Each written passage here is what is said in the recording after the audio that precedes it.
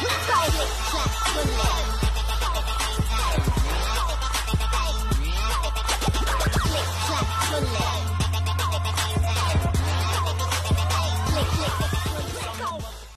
Hello guys എന്നൊരു review video അല്ല Indian വിപണിയിൽ വിപ്ലവം സൃഷ്ടിച്ച അഞ്ച് ബൈക്കുകളെ കുറിച്ചിട്ടാണ് ഈ ഒരു വീഡിയോ കൂടെ ഞാൻ നിങ്ങളുടെ മുമ്പിൽ സംസാരിക്കാൻ പോണത്. അപ്പൊ ജസ്റ്റ് ഈ ഒരു വീഡിയോയിൽ ഞാൻ ഉൾപ്പെടുത്താത്ത ബൈക്കുകൾ അല്ലെങ്കിൽ ഇപ്പൊ ഈ നിലവിൽ ഞാൻ പറഞ്ഞുകൊണ്ടിരിക്കുന്ന ബൈക്കുകളെ കുറിച്ചിട്ട് നിങ്ങളുടേതായിട്ടുള്ള അഭിപ്രായങ്ങൾ നിങ്ങൾക്ക് ഈ ഒരു വീഡിയോന്റെ താഴെ ജസ്റ്റ് കമന്റ് ആയിട്ട് ഇടാം. ഇന്ന് നമ്മുടെ റോഡുകളിലൊക്കെ കണ്ടുവരുന്ന ലിറ്റർ ക്ലാസ് ബൈക്കുകളെ കുറിച്ചിട്ട് ചിന്തിക്കാൻ പോലും പറ്റാത്തൊരു കാലം നമുക്ക് എല്ലാവർക്കും ഉണ്ടാവും. അതായത് നൂറ് സി സിയുടെ ഒരു ബൈക്ക് കയ്യിലുണ്ടെങ്കിൽ പൂജാപട്ട് വരെ വണ്ടിയുടെ ബാക്കിൽ വന്നിരിക്കുന്ന യുവാക്കൾ കരുതി ഒരു കാലം. അങ്ങനെയുള്ള ഒരു കാലത്ത് നിന്ന് ഇന്ത്യൻ മോട്ടോർ സൈക്കിൾ വിപണി ഏറെ മുമ്പോട്ട് സഞ്ചരിച്ചു. എന്നാലും നമ്മുടെ ഇന്ത്യയിലത്തെ ബൈക്കർമാർക്കിടയിൽ പെർഫോമൻസ് ബൈക്കുകൾക്ക് ഒരു പ്രത്യേക സ്ഥാനം ഉണ്ടായിരുന്നു. ഇന്ത്യയിലെ അന്നത്തെ ചെറിയ ബൈക്ക് വിപണി പെർഫോമൻസ് ബൈക്കുകളുടേത് മാത്രമാണെന്ന് പറഞ്ഞാലും അതിശയോക്തിയാവില്ല എന്ന് വേണമെങ്കിൽ പറയാം.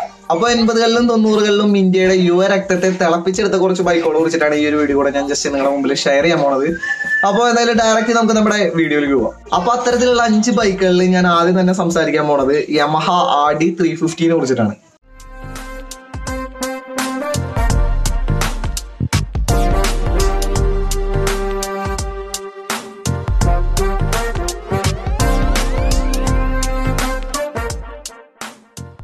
ഇന്ത്യയിലെ പെർഫോമൻസ് ബൈക്കുകളിലെ ഇതിഹാസം എന്ന് പേരിട്ട് വിളിക്കാൻ ആരെങ്കിലും ഉണ്ടെങ്കിൽ അത് യമഹ ആടി ത്രീ ഫിഫ്റ്റി മാത്രമാണ്. ഈ ടു സ്ട്രോക്ക് പാരലൽ ട്വിൻ എഞ്ചിന് മുപ്പത് പോയിന്റ് അഞ്ച് കുതിരശക്തി പകരാനുള്ള ശേഷിയുണ്ട്. ഇന്ത്യയിൽ നിർമ്മിക്കപ്പെട്ടിട്ടുള്ള ആദ്യത്തെ സ്പോർട്സ് ബൈക്ക് എന്നുള്ള വിശേഷണവും യമഹ ആടി ത്രീ ഫിഫ്റ്റിക്ക് മാത്രം അവകാശപ്പെട്ടാണ്.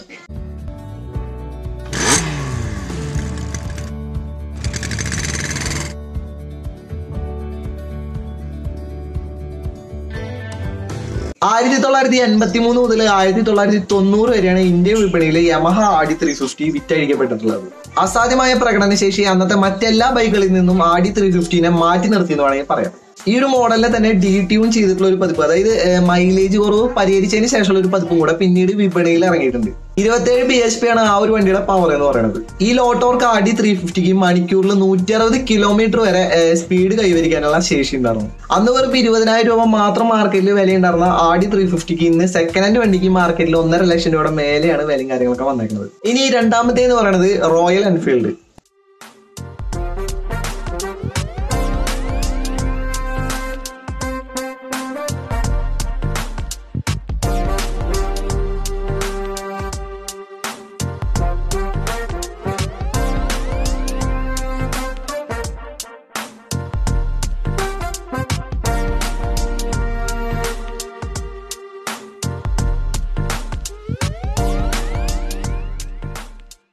കൊളോണിയൽ കാലം ഇന്ത്യയ്ക്ക് തന്നിട്ടുള്ള വിലപ്പെട്ട സമ്മാനങ്ങളിൽ ഒന്നാണ് റോയൽ എൻഫീൽഡ് ബൈക്ക്.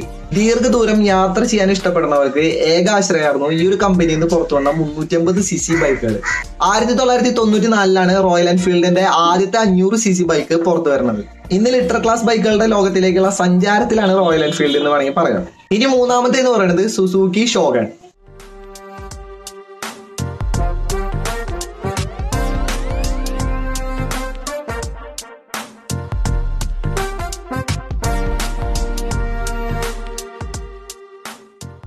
ആയിരത്തി തൊള്ളായിരത്തി തൊണ്ണൂറ്റി ആറിൽ പുറത്തിറങ്ങിയ സുസുക്കി ഷോഗൻ എന്ന് പറഞ്ഞ നൂറ്റിപ്പത്ത് C C bike R X hundred സഞ്ചരിച്ച് അതേ വഴി കൂടെ സമാന്തരമായി സഞ്ചരിച്ചു എന്ന് വേണമെങ്കിൽ പറയാം. പതിനാല് ബി എച്ച് പി ആണ് ഈ ഒരു വണ്ടിയുടെ പവർ എന്ന് പറയുന്നത് ഈ ടു സ്ട്രോക്ക് പെട്രോൾ എഞ്ചിൻ നഗരത്തിലെ ഉപയോഗത്തിന് വേണ്ടിയിട്ട് ട്യൂൺ ചെയ്തിട്ടുള്ളതാണ്.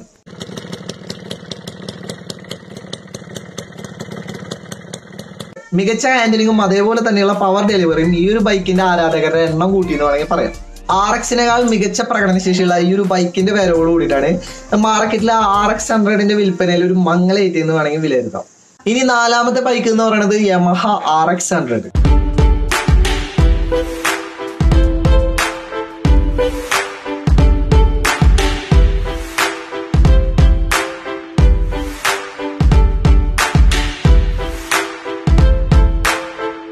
ബൈക്കിന്റെ ശബ്ദം ഇന്ന് നമ്മുടെ നിരത്തുകളിൽ ഒരു സംഗീതമാണെന്നൊക്കെ വേണമെങ്കിൽ പറയാം.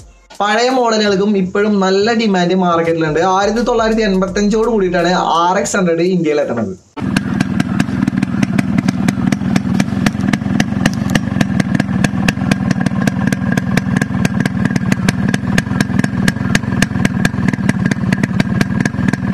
വിദേശത്ത് നിന്ന് പാർട്സും കാര്യങ്ങളൊക്കെ ഇറക്കുമതി ചെയ്തതിനു ശേഷം ഇന്ത്യയിൽ വേണ്ടി അസംബിൾ ചെയ്യാണ് ചെയ്തത്. ആയിരത്തി തൊള്ളായിരത്തി തൊണ്ണൂറ്റിയാറ് വരെ ഈ ഒരു ബൈക്കിന്റെ ഉൽപാദനം നടന്നു പതിനൊന്ന് ബി എച്ച് പി ആണ് ഈ ഒരു വണ്ടിയുടെ എഞ്ചിന്റെ പവർ എന്ന് പറയുന്നത്. നമ്മുടെ റോയൽ എൻഫീൽഡ് ഒക്കെ പോലെ തന്നെ ഇന്നും ഈ ഒരു ബൈക്കിന് ഒരുപാട് ആരാധക നിരയുണ്ടെന്ന് വേണമെങ്കിൽ പറയാം. R X one thirty five R X G R X Z എന്നിങ്ങനെയുള്ള പിൻഗാമികൾ വന്നെങ്കിലും ആർ എക്സ് ഹൺഡ്രഡ് ഉണ്ടാക്കി തീർത്ത ഒരു ഇതിഹാസത്തിനപ്പുറം ആ വണ്ടികൾക്കൊന്നും വേറെ ഒന്നും ചെയ്യാനുണ്ടായിരുന്നില്ല. ഇനി നമ്മൾ പറയാൻ പോകുന്ന അഞ്ചാമത്തെ വണ്ടി എന്ന് പറയുന്നത് ഹോണ്ട സി ബി സെറ്റ്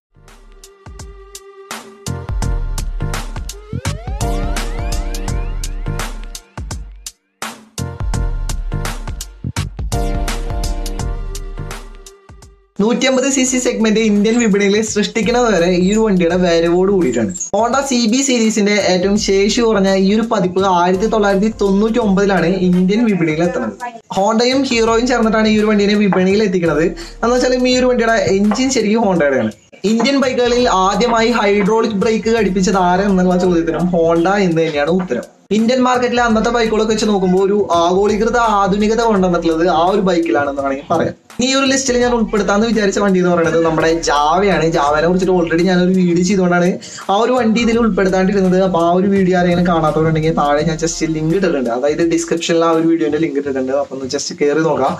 അപ്പോൾ നമ്മുടെ ഇന്നത്തെ വീഡിയോ എന്ന് പറയുന്നത് ഇത്രയേ ഉള്ളൂ. നിങ്ങൾക്ക് ഈ ഒരു വീഡിയോ ഇഷ്ടപ്പെട്ടു എന്ന് വിചാരിക്കണം അങ്ങനെ ഇഷ്ടപ്പെട്ടുണ്ടെങ്കിൽ മറക്കാണ്ട് ലൈക്ക് ചെയ്യുക. ഇതേപോലെ ബൈക്ക് സംബന്ധിച്ച് എന്തെങ്കിലും ഡൗട്ടുകളും കാര്യങ്ങളും ഉണ്ടെങ്കിൽ തന്നെ എനിക്ക് ഇൻസ്റ്റാഗ്രാമിൽ മെസ്സേജ് ചെയ്യുക എന്റെ ഇൻസ്റ്റാഗ്രാം വഴി Arun Smoki A R U N S M O K I പിന്നെ നിങ്ങൾ ആദ്യമായിട്ട് എന്റെ ചാനൽ കണ്ട ഒരു വെച്ചാൽ മറക്കാണ്ട് എന്റെ ചാനൽ ഒന്ന് സബ്സ്ക്രൈബ് ചെയ്ത്. അതുപോലെ ബൈക്ക് സംബന്ധിച്ച് നിങ്ങൾക്ക് ഉപകാരപ്പെടുന്ന കാര്യങ്ങൾ മാത്രമാണ് ഈ ഒരു ചാനലിൽ വീഡിയോ ആയിട്ട് ചെയ്യുന്നത്. അപ്പോൾ എന്തായാലും നമുക്ക് അടുത്തൊരു വീഡിയോ കാണാം. ശരി.